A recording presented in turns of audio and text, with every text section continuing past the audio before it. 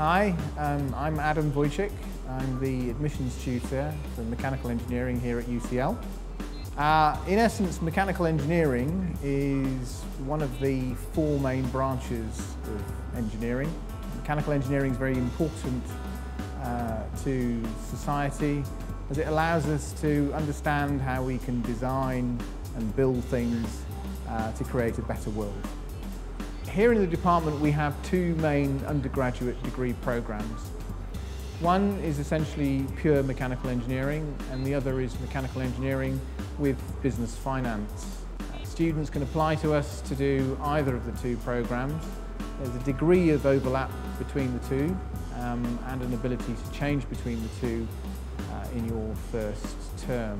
One of the things we're quite keen on getting across to our applicants is the fact that mechanical engineering is not about repairing cars. Uh, it's about, as I said earlier, applying the laws of uh, physics and maths to the real world. And it's more a science uh, than a, a practical, hands-on undergraduate degree program. There is hands-on content, of course, uh, but it's kept within the context of an academic degree. Once you graduate, there are a number of career paths uh, you might uh, consider. Uh, one of which is to become a true engineer, go out into the real world and uh, work for an engineering company. Mechanical engineers, however, find themselves in other walks of life. You don't have to become an engineer if you study mechanical engineering. So for example, a lot of our graduates end up in the financial industry simply because they are numerate, um, they can meet deadlines uh, and uh, they can write good reports. The third route open to you would be to stick around after you graduate uh, and do a postgraduate degree, an advanced degree.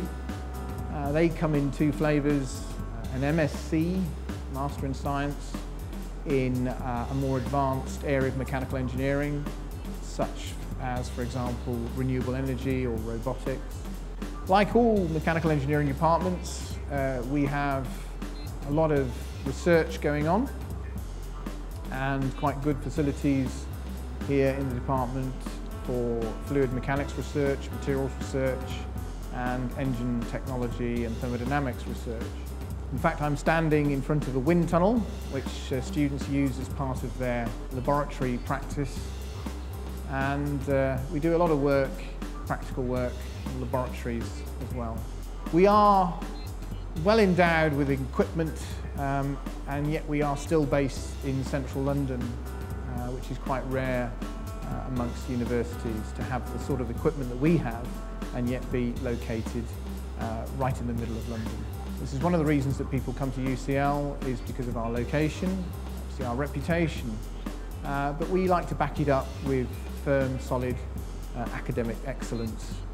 Coming to London is one of the attractions uh, of UCL, uh, but it's a wonderful atmosphere and it's a multidisciplinary university. So you can be studying engineering uh, and maybe having lunch with someone that's studying art history or something exotic like that. So it goes, makes for a very interesting degree.